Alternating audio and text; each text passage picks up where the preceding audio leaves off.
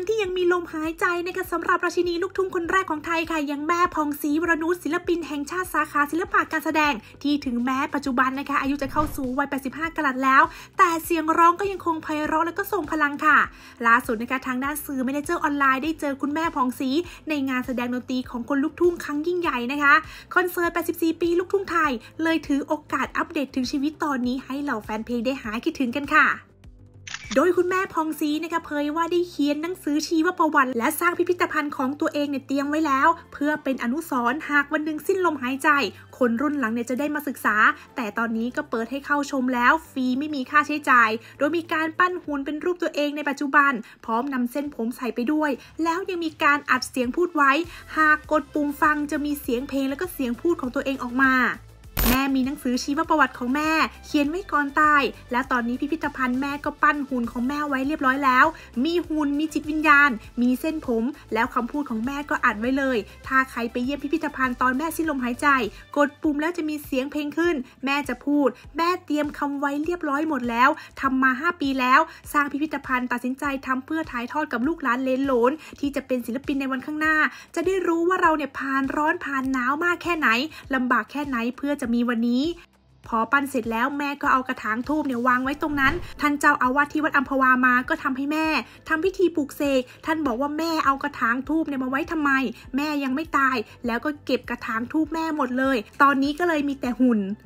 แม่ตั้งใจจะสร้างไว้สักวันแม่ตายเขาจะได้เห็น แม่ให้ทำเป็นรูปปั้นตอนแก่นะไม่ใช่ตอนสาวหลวงพ่อจะเอารูปตอนสาว แต่แม่เนี่ยบอกว่าไม่เอา เอาปัจจุบันเหมือนแม่เลยไปดูได้ ในหนังสือแม่ก็มีก็ตั้งใจเอาไว้ที่บ้านที่จังหวัดนครปฐมไปเยี่ยมไปถ่ายได้ รางวัลของแม่ก็อยู่ที่นั่นหมด รูปตั้งแต่ตอนเด็กถึงตอนนี้ก็มีหมด คนนอกเข้าไปดูได้ แม่ให้เข้าชมฟรีตอนนี้ก็ไปได้แล้ว การสร้างตรงนี้ครอบครัวแม่รู้หมด บางคนไปฟังแล้วก็ร้องไห้ บอกทำไมแม่พูดอย่างนี้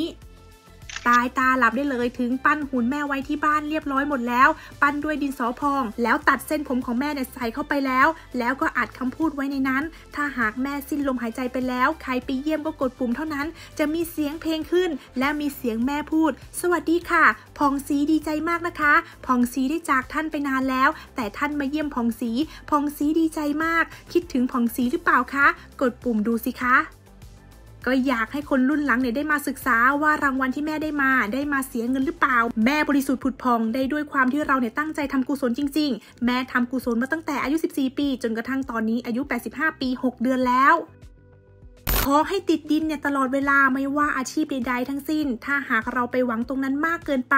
เราจะไม่ได้อะไรท้อได้แต่อย่าถอยก้าวไปข้างหน้า ถ้าท้อถอยจะได้ไหมของที่รออยู่ข้างหน้ามันไม่ได้ มีเงินมีทอง มีทุกสิ่งทุกอย่างตายไปเอาไปไม่ได้ ความซื่อสัตย์กตัญญูต่อผู้มีพระคุณที่จะติดตัวไป อันนี้อย่าลืม แม่พูดอยู่ตลอดผู้ที่มีบุญคุณอย่าลืมครูอาจารย์ พ่อแม่สื่อมวลชน ห้างร้านบริษัท อย่าลืมเขาผู้มีพระคุณที่พาเราเนี่ยก้าวบันไดขั้นแรกขึ้นไป ถ้าเราไม่มีผู้มีพระคุณนำทาง ก้าวแรกเราเนี่ยจะเจอตรงนั้นไหม เมื่อดังแล้วอย่าลืมตัวแม่จะพูดอย่างนี้ไปตลอดจนกว่าแม่เนี่ยจะสิ้นลมหายใจ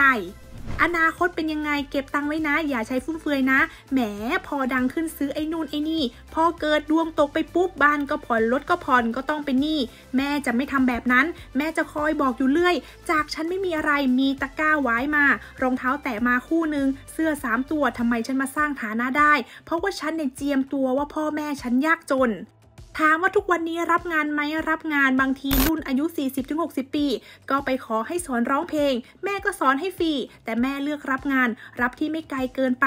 งานบุญงานกุศลเนี่ยแม่ไปให้ ส่วนใหญ่จะเป็นงานร้องเพลง ถ้าสอนร้องเพลงเนี่ยจะไปร้องที่บ้าน เขาเคยมีจ้างให้กินเงินเดือน แต่แม่ไม่เอาแม่ไม่มีเวลามา บางทีมาเข้าแอร์นานๆ แม่อยู่แอร์นานไม่ได้ ตอนนี้ก็รับงานบวชงานแต่งงานวันเกิดงานขึ้นบ้านใหม่งานหาเงินเข้าวัด หรืองานแฟนเพลงที่ต้องการให้แม่เนี่ยไป แม่จะร้องได้แค่หนึ่งชั่วโมง 10 กว่าเพลง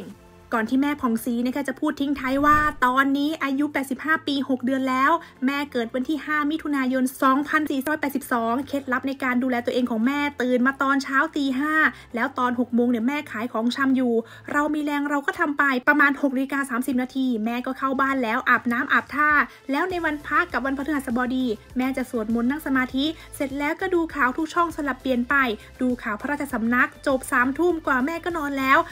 นอนกลางคืนก็ออกกำลังกาย ดัดแข้งดัดขากายบริหาร ตื่นตีห้าถ้าหลับเพลินก็หกโมงเช้า ตื่นมาเอาอาหารให้หมาแมว แล้วก็มากวาดใบไม้ เสร็จแล้วเข้ามาดูทีวี8ปดโมงกว่าก็ทานข้าวทำใจปล่อยวางไม่ยึดติดและก็ไม่วิตกกังวล อะไรจะเกิดก็ต้องเกิด เราต้องแก้ด้วยตัวเราเอง ส่วนโรคภัยไข้เจ็บ แม่มีหัวใจอ่อนล้าเป็นโรคประจำตัว ต้องกินยาไปโรงพยาบาลปีละครั้งค่ะ